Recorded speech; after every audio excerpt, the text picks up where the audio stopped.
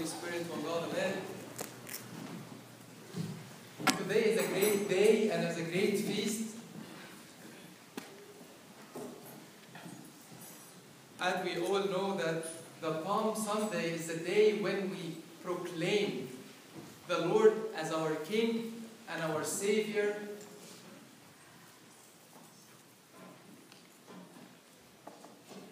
And from the right of the church, we would be able to live this occasion in joy and happiness.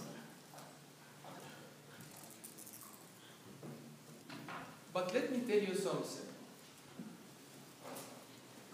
We have to know a story. Maybe through this story, we may acknowledge what happened this day and what this day is so joyful. It's a story about a kid. This kid, he was born as an orphan. And he lived in a cage. He was poor, hungry, thirsty. And he has a master who is so hard on him. He didn't get any comfort, any peace, any rest. And he was suffering a lot from the servitude of his master. Every day, at the end of the day, he's so worried, so tired, so hungry, so thirsty, so fearful. Day by day, he lived and he wished if he couldn't live. But he don't know how to get out of that. How to be in a better place. How to find enough food and rest and drink. How to find someone who deal with him respectfully and kindly. How can he find just and mercy? How he can find care?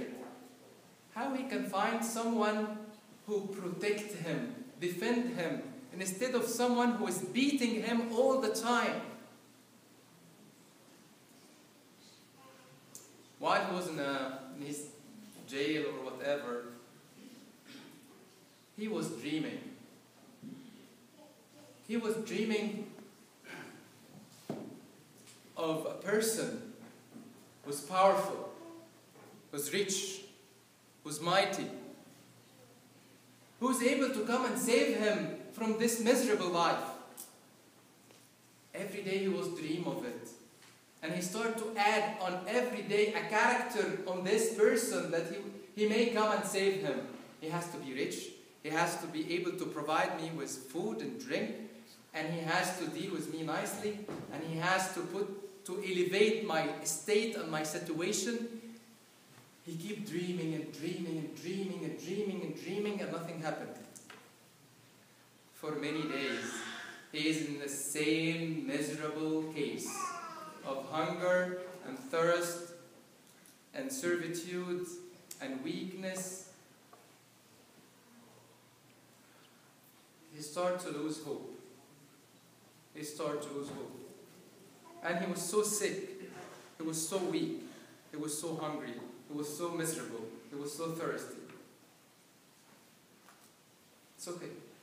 Let me die. But all of a sudden, he started to hear a loud voice coming from outside. the prisoners who were with him at the same prison, they start to shout and to dip and to make a loud voice. Wow, what happened? They heard that a mighty king, a very rich king, a very powerful king who has a lot of soldiers and richness and properties, who is kind, who is just, who is loving, who's merciful, who's able to do anything. He may come and pass by his city. And if he hear them, he may save them. So they start to shout more louder and more louder and more louder. Hosanna! Save us! Save us! Save us! And then everybody start to shout again and shout again. And all the prisoners start to shout. And you can feel the prisoners start to shake from the voice. Save us! Save us! Save us! Save us! Save us! What will happen? What do you think? What happened? This mighty, just, loving, kind, merciful God came to save us or to save them from the servitude of the devil, from the curse of the sin, from the death, from the weakness of our humility and our nature. He came to save us. He came to promise us with a better life. He came to join us to his kingdom. He came to reign over us with just and mercy and love and kindness and care and all that what we was dreaming of and more and more and more and more. Do we accept him today? Can we cry out to him, save us? we will not be joyful unless we, we will see how miserable we are. If you feel that you're weak, you need strength. Or you are a slave, you need freedom. Or you are, you are lonely, you need someone to take care of you. Or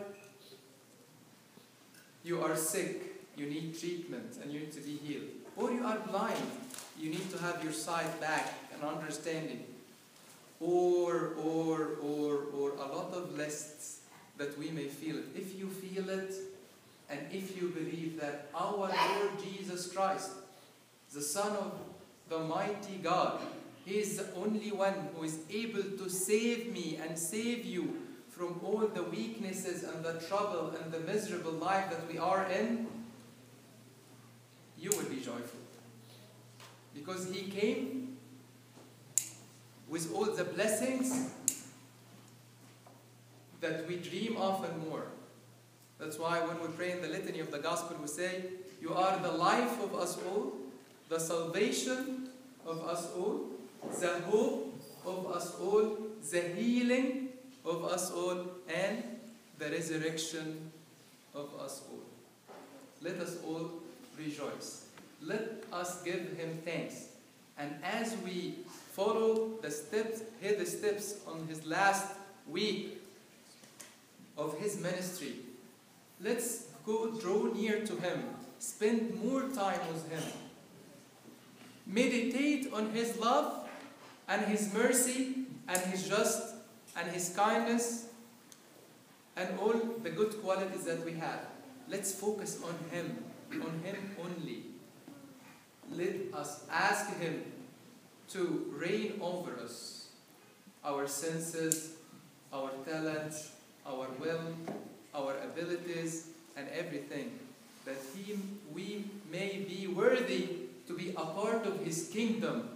The kingdom of the King of Kings and the Lord of Lords. I think we tried. We tried a lot to put our hope in someone who's around us. But we didn't find what was expected. Let's put our hope in Him. The hope of those who have no hope, and the help of those who have no help, and the harbor of the faint-hearted. ربنا يدينا إن إحنا نتمتع بيه ونتمتع بمحبته ونتمتع بوجوده اللي هو دايما سبب فرح لينا. ونقول له يا رب ادينا نفرح بوجودك في وسطينا مش يوم في السنة لكن إيه؟ كل أيام حياتنا إحنا محتاجينه أكتر من ما هو إيه؟ محتاج لنا عشان كده في القداس الغرغوري بيقول لست أنت محتاجا إلى عبوديتي بل أنا المحتاج. أنا رب العايز. أنا اللي عايزك تملك عليا. أنا اللي عايزك تحميني. أنا اللي عايزك تخلصني. أنا اللي عايزك تشفيني. أنا اللي عايزك تغيرني. أنا اللي عايزك تجددني. أنا اللي عايزك تعمل فيا وبيا اللي أنا حتى ما أحلمش بيه. أنا اللي عايز. أنا اللي محتاج. انت يا رب قادر تديني وتدي كل واحد النهارده اللي هو عايزه. اطلب بإيمان اطلب بثقة. قول له وصلنا في الأعالي. خلصنا يا ابن داود املك علينا يا رب وعلى بيوتنا وعلى حياتنا وعلى أولادنا وعلى أولاد أولادنا لآخر الدهور. مين غيرك يا رب نستأمنه على نفسنا؟ أي حد تاني يا رب هنسلمه نفسنا هيستعبدنا وهيستغلنا وهيذلنا. وهيجوعنا وهيعطشنا وهيعمل فينا كل حاجة. أما أنت يا رب الوحيد اللي لما نسلم ليك حياتنا تدينا كل نعمة وكل بركة وكل خير وكل محبة وكل صلح وكل سلام وكل فرح وكل هدوء. يلا نتمتع بمحبة ربنا ويلا نتمتع بأبوته وحنيته ورحمته. مش بس النهاردة لكن كل يوم من أيام حياتنا I can't say enough and I can't thank him enough and I can't explain enough his love towards me and towards all of you. But I think the better, one of the best way to express our love towards God is during the liturgy, especially when we pray the Gregorian liturgy. And we remember the love, the care, the humility that our Lord Jesus Christ offered for my sake. So let's focus during this coming time in the liturgy. Let's pray with Abuna but secretly. Mish loudly all the prayers and mean it. For my sake, O my Savior, for my sake, O my Savior, for my sake, O my من أجلي يا سيدي, من أجلي يا سيدي. Let us glorify Him, thank Him, worship, worship Him, give thanks to Him, And especially on this holy time of the year, and ask Him for salvation, healing, life, and resurrection. Glory be to God forever. Amen. كل سنة وحضراتكم طيبين. زي ما حضراتكم قاعدين في هدوء كده عشان نصلي ونتمتع بالصلاة نحاول نحافظ بالهدوء في المكان. الأوضة اللي ورا مخصصة لصلوات الأطفال. صلوات دي أوضة للصلاة. مش لأي حاجة تاني. أنا مش عارف الناس فاهمينها غلط. ده بار من الكنيسة. جزء لا يتجزأ من الكنيسة. داخل حدود الكنيسة. بس جزء مرتب خصيصا من أجل صلوات الإيه؟ الأطفال، الأطفال اللي هم غاليين قوي علينا وغاليين قوي عند ربنا، بس هم في مرحلة نمو وفي مرحلة تدريب، فإحنا عايزينهم ينبسطوا وإحنا كمان نقدر إيه؟ نركز، ف معلش الأطفال أنا عارف الصغيرين اللي ما يقدروش يحتملوا طول القداس. ممكن هناك في سكرين، هناك في سماعة، هناك في خدام بيساعدوا الأطفال إن هم يصلوا ويسجدوا ويتمتعوا بالوقت. ربنا يمتعنا بوجوده في حضور في وسطينا له كل مجد اليوم تمت